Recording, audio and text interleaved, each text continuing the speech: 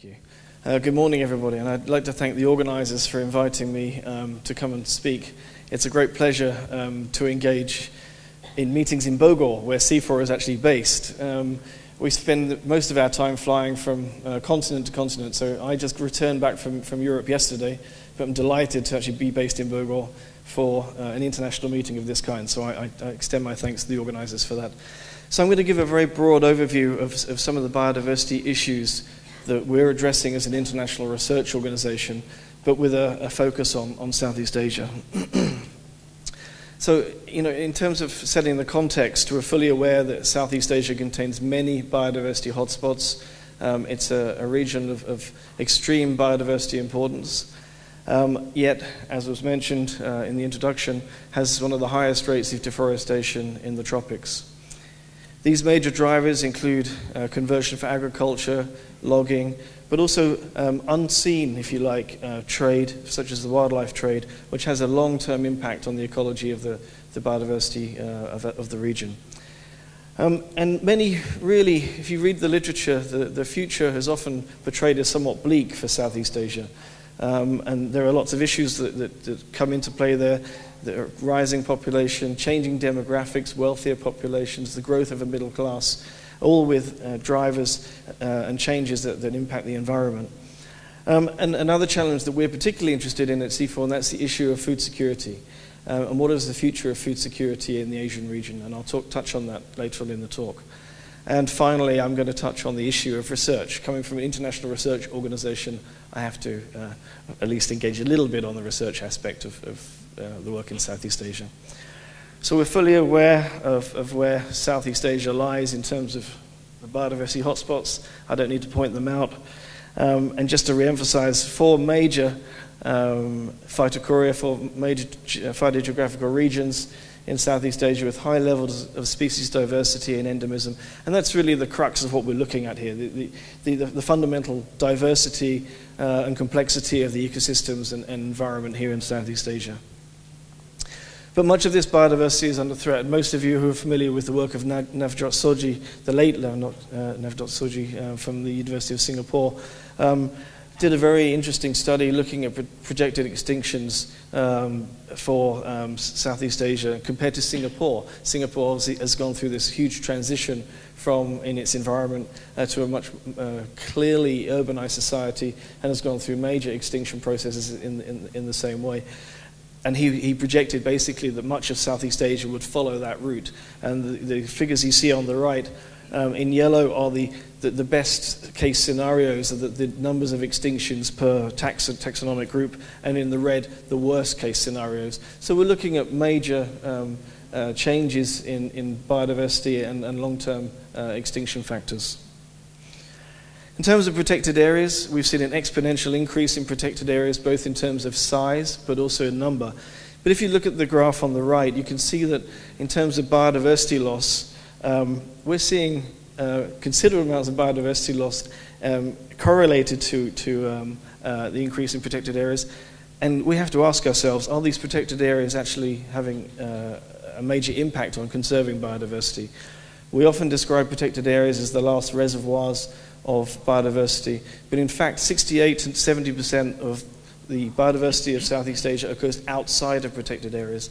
And so, given the investment in, in the protected area process, we have to perhaps reappraise uh, and think about new ways of protecting the biodiversity um, that rem- is remnant in Southeast Asia.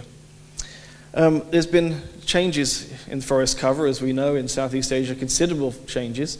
And I'm not quite sure why India is, is, um, is circled here in this, this slide. But you can see that in, in some countries, particularly China, India, Vietnam, there's been an exponential increase in forest cover. And that's because of the extensive tree planting programs that have been implemented there.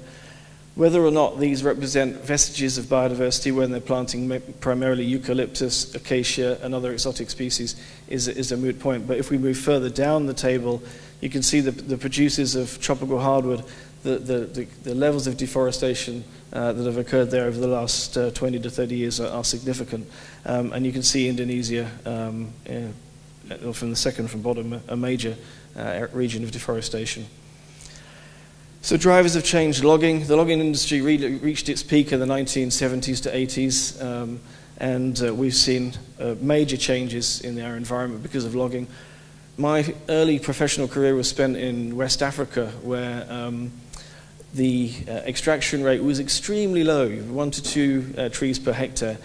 Uh, because of the ecology of the species concerned. Here, with the family Dipterocarpaceae, you're able to take out many more species per hectare, so the impact on the residual forest is, is significant. Um, and you can see there again Indonesia and Malaysia being the major countries where uh, logging is, is particularly prevalent. And a major driver of change linked to logging, somewhat contentiously, uh, is the conversion of land to agriculture. And here you can see uh, the top line uh, the extent that um, land conversion has taken place in Indonesia for conversion primarily to, to oil palm and other uh, cash crops. And if just to focus a, a, little bit on oil palm and forest loss, you can see the, the, the level of expansion of, uh, of oil palm is directly correlated to forest loss. Um, and this is something which has been a, a, an issue of global uh, attention, has attracted global attention, it's attracted global um, uh, discourse, um, both positively and negatively, um, and it's something that, that seems to be seems to um, generate a lot of discussion and debate um, amongst the conservation and development community. And this is an interesting slide. We're all aware of the haze, and I don't know how clear the, the images are on the, on the screen. If you just give me a second. Yeah, you can, you can, you can see these red dots are actually uh, fires during the, the burning season and the resultant haze that occurs. This is South Sumatra, uh, and this is Kalimantan here. And you can see the extent of the haze that spreads towards northern Sumatra and Singapore. Ah, okay, thank you. It's, uh, it's okay. Um, and uh, recently, the Singapore government and Indonesian government have had some, some discourse in, in mitigating this haze and this, this annual burning. Um, and just by sheer coincidence, yesterday the Singapore government contacted CIFOR uh, and FORDA to, to work together to try and address some of these, these drivers of, of the, the, the fires, um, particularly uh, during the burning season. And this is directly related to, to logging uh, and oil palm um, ex- expansion. And this is what we're faced with. We, we, go from highly rich, dense um, Dipterocarpaceae forests full of animals insects and all the elements of biodiversity we all appreciate to, to this. And, and if you travel to Kalimantan or Sumatra or, or anywhere else in, in Southeast Asia, in fact, um, you're often faced with large expanses of, of oil palm. And the wildlife trade um, is something that seems to remain on the periphery of, uh, of the, the, the debate about biodiversity. But this slide actually shows the legal trade in biodiversity. So, this uh, number of 13 million is a number of live animals traded in Southeast Asia legally last year. But this is but one small proportion of the actual extent of the trade. And countries such as Vietnam, Laos, Cambodia, Indonesia are major suppliers of wildlife to the emerging markets in China um, and elsewhere. And of course, I was going to show another map, but I'm, I'm aware of the, the time constraints the uh, concomitant trade from Africa in, in terms of rhino horn and ivory reaching Southeast Asia and, and being traded throughout many of the countries there, with the end markets being in Vietnam and, uh, and um, uh, China. And of course, we've seen the extinction of the, the, the last of the, the Javan rhinos in Vietnam based on this extensive and very lucrative wildlife trade. So, in terms of food security, I, I just came from two major food security meetings in Europe. And as I said, uh, have been working on this um, extensively, particularly from the, the linkages between understanding uh, biodiversity and food security linkages. And what we're saying, seeing in terms of, of food security is, of course, changing demographics. Populations are growing across the world, and so people think there's a linear correlation between um, population growth and the need to grow more food. In fact, we grow enough food in the world. We have 1 billion people who are undernourished, but we have 2 billion people who are overweight or obese. So there's, there are some problems here in, in the supply chain of, of food, and, and, and that's one uh, issue that needs to be addressed, and that's a political thing which is outside, obviously, the remit of an organization like CIFOR. But we're also seeing changing demographics which have influenced appetites and, and, and diets. As uh, the middle classes emerge and grow, their, their demands on, on the food system are such that they would like to eat more meat, for example. Meat is a very uh, inefficient way to, to use uh, the residual land that we have available for agriculture. And so the major driver of change is, in fact, this um, uh, increased affluence, which enables people to diversify their diets because they have purchasing power. And it's interesting if you take Hong Kong and Singapore, who grow no food whatsoever, they're completely food secure because they have purchasing power. India, for example, which produces a surplus every year, is food insecure because of the inequities in the food distribution system. So, uh, the real challenge uh, for Africa and for Asia is, is to how to grow enough nutritious food. It's not just about quantity in terms of calories, you need to have a, a, a nutritious diet.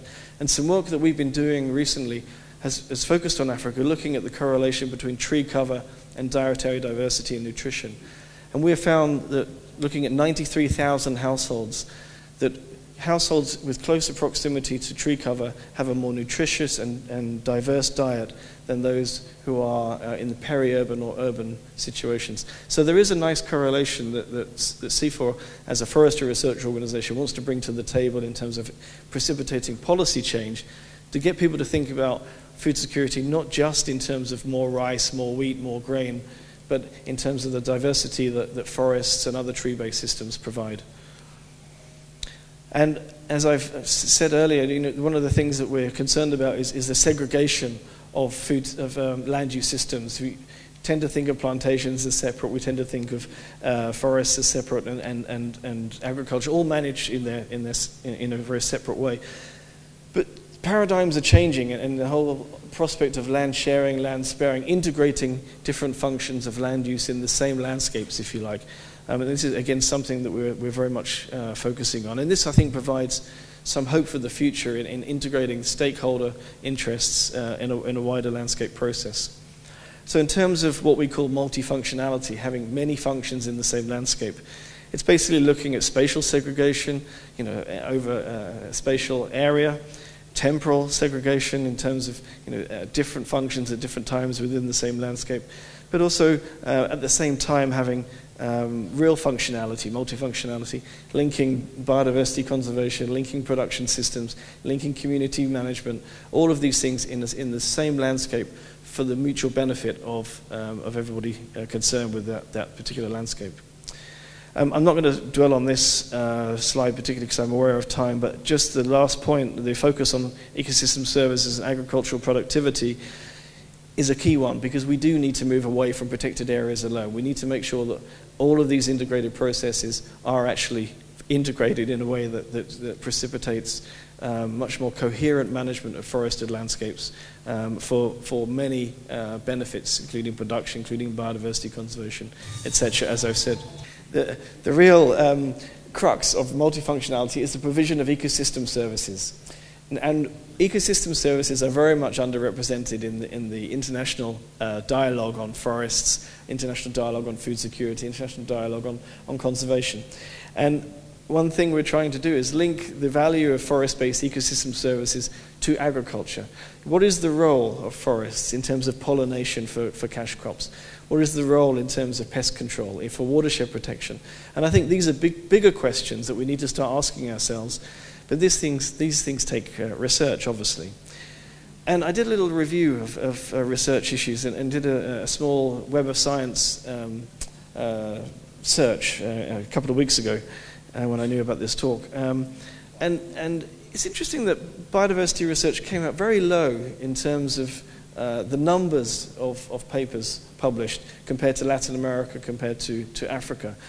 And interestingly, much of the distribution of research here in Asia has been based on or focused on, on mammals, um, with less so on, on, uh, on other taxonomic groups.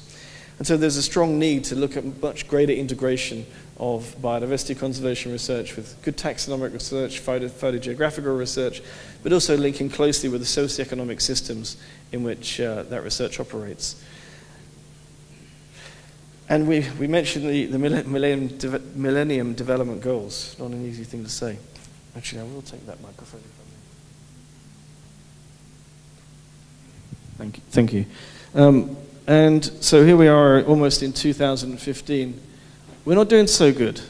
Uh, we're not doing so good on hunger. As I mentioned, there are 2 billion people obese, but there are still many, many people who don't have access to adequate diets. We're not doing too good on education either. Um, in terms of poverty alleviation, um, the, this has been one of the, the biggest successes of the MDGs, but food prices can affect this dramatically. The, the spike in food prices that occurred in 2008 put 1 million people back into the poverty trap. Um, and so small levels of fluctuations in, in, commodity prices can have a huge impact on, on poverty. So we, we talk about the Millennium Development Goals, and we, we have resoundingly, I think, not succeeded in achieving all of the targets that, that we had hoped for. And now we're working on the Sustainable Development Goals uh, for post 2015. And CIFOR are, are working um, with the UN on trying to get at least a, a, sustainable development goal on landscapes, on integrated landscape approaches, the kind of thing that I've been talking about, integrating multiple functions in a single landscape.